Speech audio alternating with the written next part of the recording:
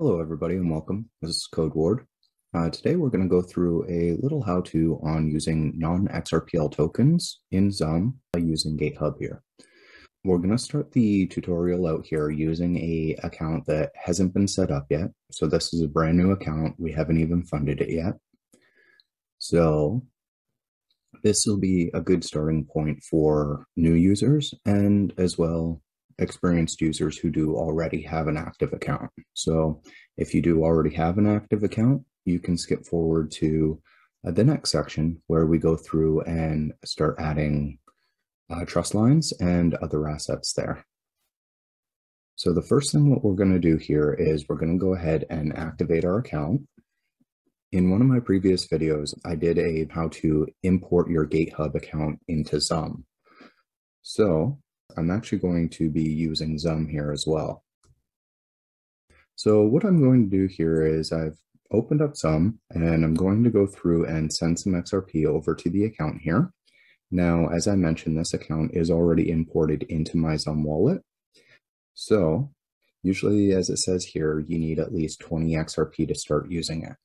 But we're going to be doing a few things to do with trust lines here. So I'm going to send a bit extra here. I'll actually send over uh, we'll say 50 XRP. And I'm going to add a little bit extra, 0.01, which will allow us to cover some uh, transaction fees there. And I'm going to send that to my GateHub account. And I am getting a warning saying that the destination account hasn't been used before. So by sending XRP to the account, 20 of that is going to be reserved. Alrighty, and sending that through, verifying, and there we go. So we've activated our GateHub account here. Now I'm just going to go ahead and close out some here. Now at this point here, you'll notice that we do have our XRP and we do have 50. Keep in mind 20 of that is reserved for the XRP Ledger Reserve. Alrighty, so now that we have XRP in our account, what we want to do is enable the Bitcoin trading here. In order to do so on your GateHub account, you just go to add funds and then click Bitcoin transfer here. Alrighty, and so what we'll do is we'll see that add funds, Bitcoin is disabled. Let's go ahead and enable Bitcoin here. So this is adding the Bitcoin trust line here. Alrighty, so I'm gonna go ahead and add my, or put in my password.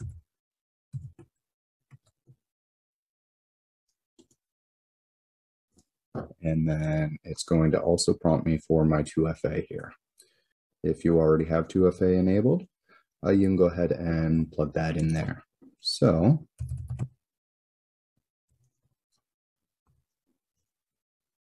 there we go. So this is enabling the trust line. Now we'll just go ahead and enable and hit confirm here. Alrighty, so keep in mind that each trust line you add does add 5 XRP to the reserve balance. So our 50 XRP that we have here, 20 is in reserve for the account reserve there. By adding the Bitcoin trust line here, it's going to reserve an additional. So our available XRP balance will actually be 25. Something to keep in mind there. So we're going to go ahead and hit confirm here. And this is going through and adding the trust line.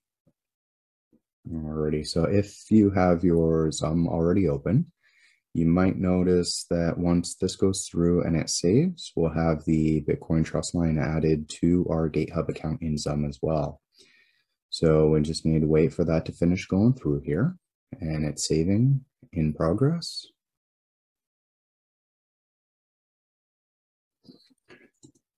So we're getting a bit of an error uh, trying to add it uh, via the GateHub web app here.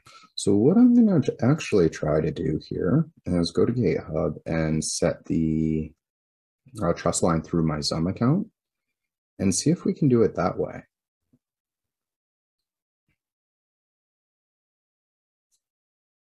Yeah, there we go.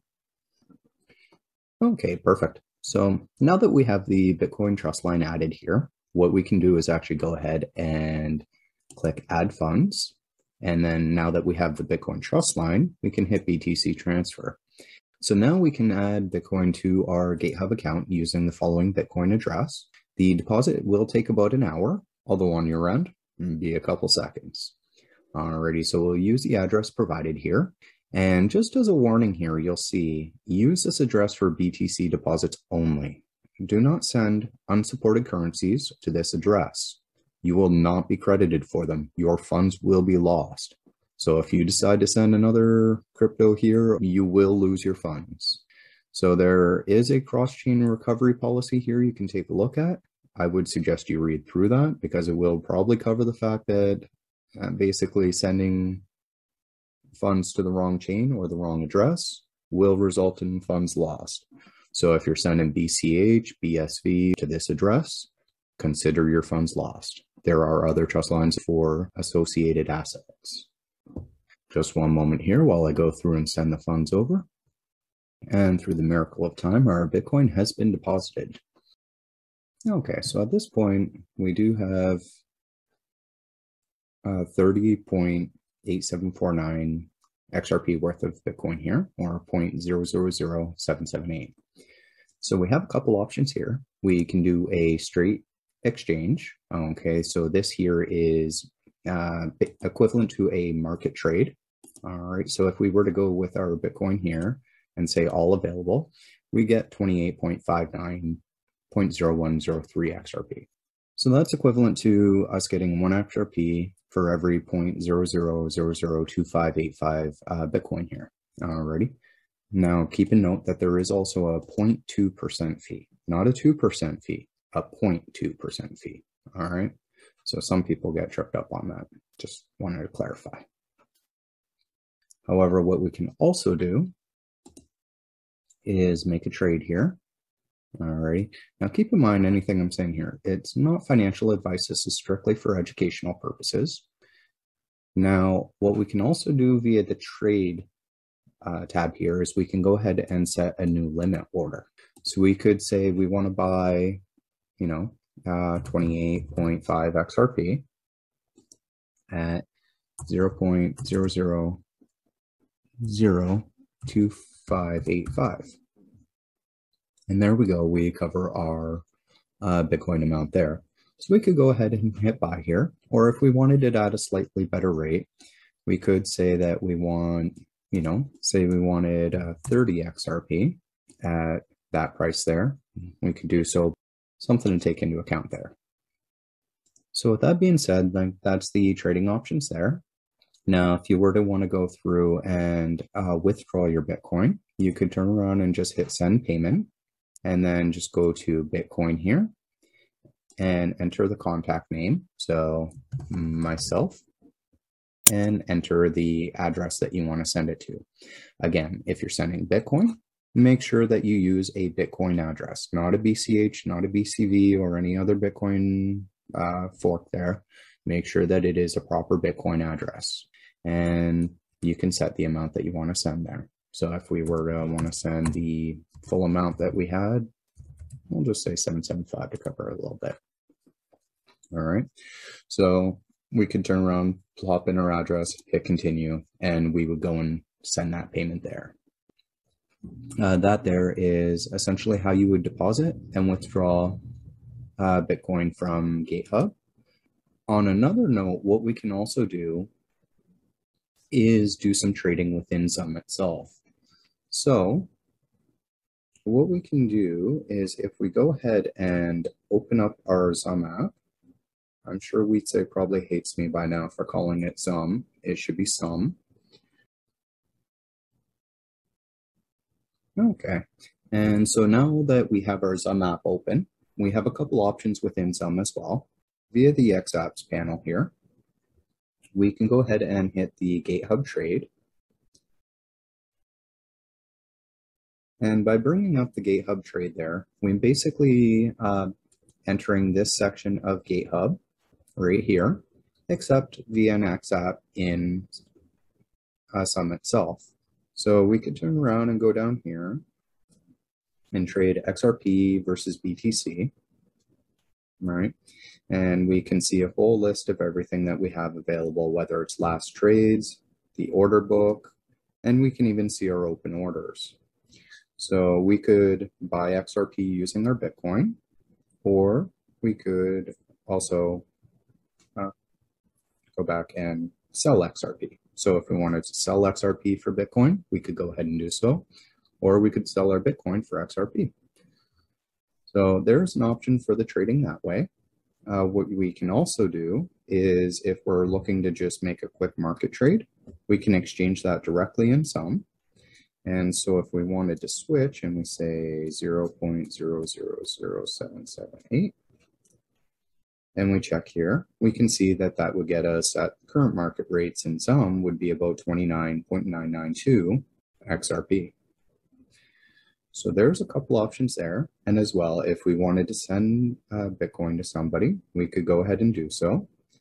Keep in mind that sending Bitcoin within XUMM would be to another XRPL user or another XUMM user.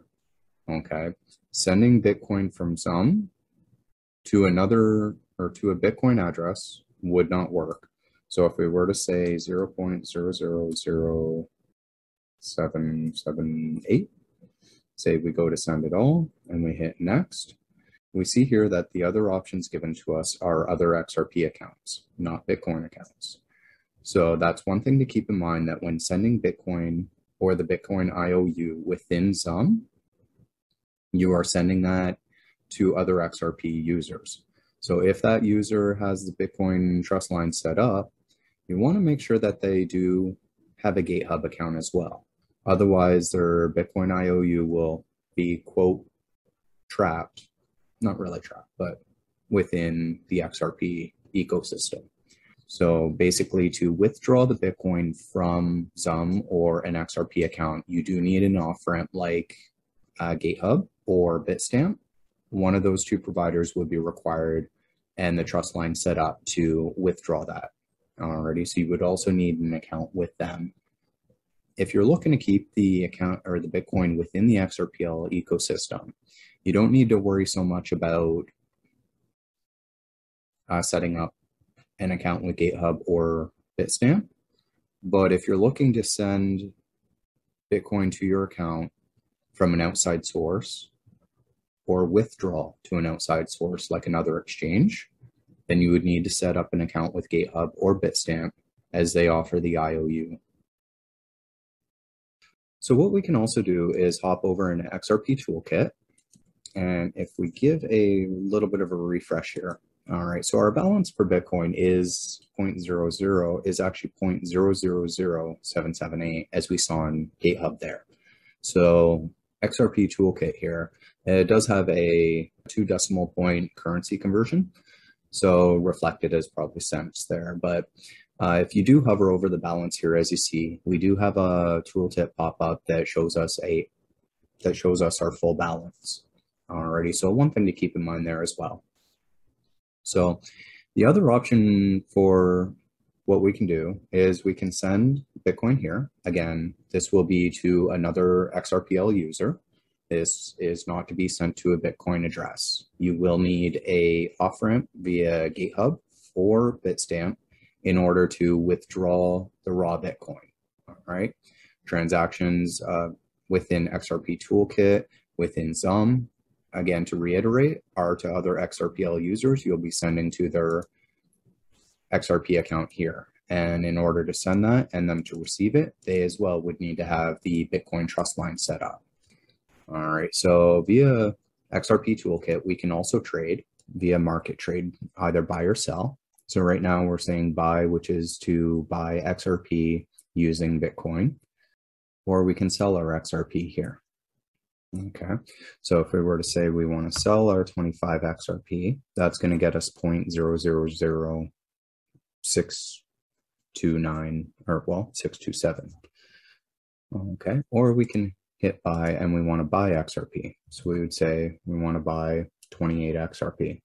I'm getting an error here, but if I put a decimal, it bypasses that.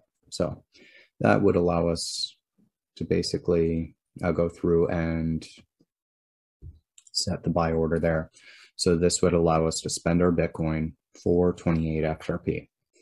Alrighty, we might actually be able to get away. Yeah, so with what we have, we could market by 29 XRP.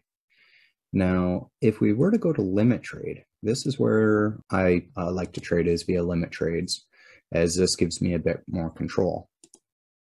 So if I wanted to, in this instance, say I want to buy 30 XRP, all right, but 25 or 26 is too high for me. So I want to set it down around this range. So if I say I want to buy at 0.00024, I could go ahead and do so. And by doing so, that would actually allow me to get a 32 XRP. So yeah, uh, basically limit trade versus market trade. Market trade is give it to me. I don't care what I pay, just give me as much as I can for what I have.